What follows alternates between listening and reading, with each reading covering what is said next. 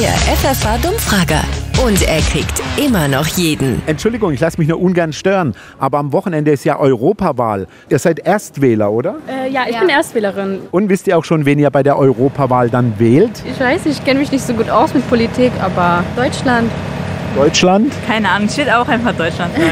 Ja, dann hoffen wir, dass Deutschland gewinnt. Ja. Was bedeutet CDU? Zentrale Deutschlandunion. Zentrale Deutschlandunion, nicht ganz.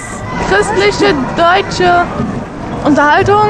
Wisst ihr, was FDP bedeutet? Eher was mit Fußball?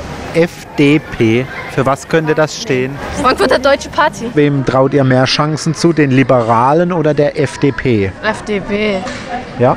Liberalen hört scheiß an. Was auch neu ist, man muss die alle ankreuzen, die man nicht mag.